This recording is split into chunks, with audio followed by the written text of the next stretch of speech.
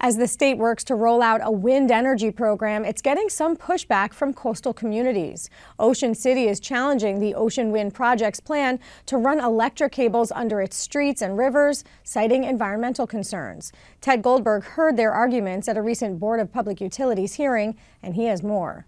How do you get energy from an offshore wind farm onshore? For the proposed Ocean Wind 1 project off the coast of South Jersey, the plan is to use an underground cable sneaking beneath this beach and snaking under streets in Sea Isle City. Construction and these underground electric lines really are, are no different than the many other underground electric lines that are installed and have operated for, for, for decades and decades throughout the state of New Jersey without issue. Eventually, the energy would reach the former BL England generating station, which was decommissioned three years ago.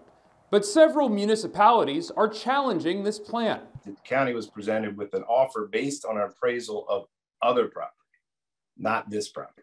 And they argue that putting a transmission line through Crookhorn Creek would disrupt wildlife and the fishing industry. The board should consider the possibility that these reasons are pretextual and that Ocean Wind is simply pursuing the easiest or least expensive route to its own benefit and to the detriment of the city, the county, and the public.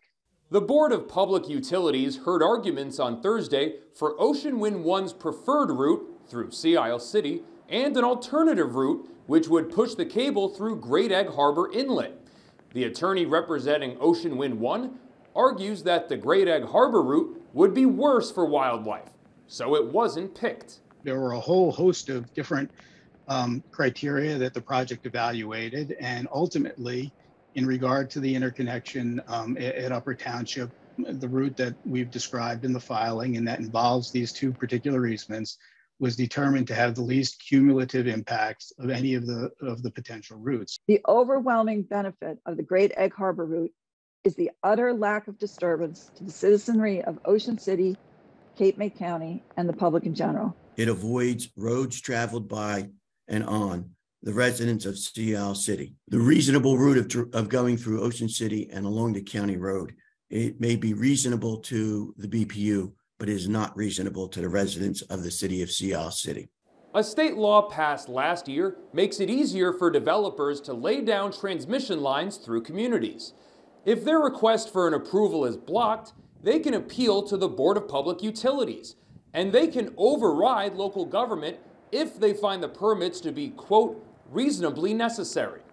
Michael Donahue is the attorney representing Cape May County. He says this tactic violates home rule.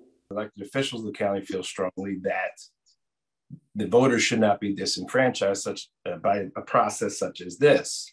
With, with all due respect to every member of the board, where an unelected state authority steps into the shoes of elected officials and essentially sets them aside the BPU has had the jurisdiction to overrule municipal and county determinations with respect to local zoning and siting approvals since literally the turn of the last century. That can't be a, a reasonable position to take. Elected officials do matter, the voters do matter.